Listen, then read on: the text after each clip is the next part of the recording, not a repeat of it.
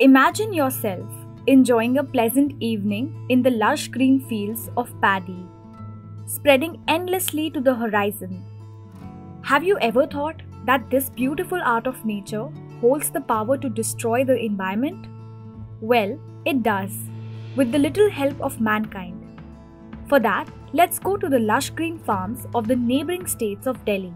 Punjab and Haryana contribute to almost 15% of India's entire rice production.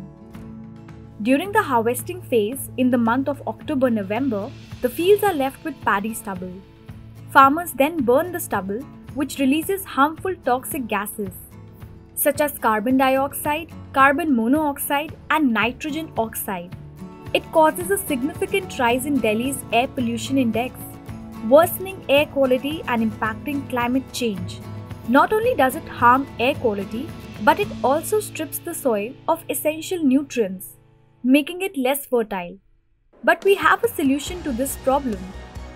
Clean energy development using biomass power plants. CEO of Malwa Power Plant, Mr. B.S. Jangra, states that around 14 megawatts of power is produced using more than 180,000 metric tons of paddy stubble annually.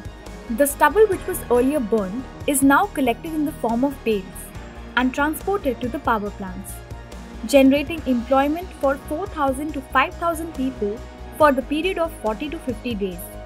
Around 7 to 8 lakh hectares of soil is saved. Along with saving the environment from harmful air pollutants, Wingify Earth encourages such constructive changes and encourages people to choose more enduring lifestyle choices.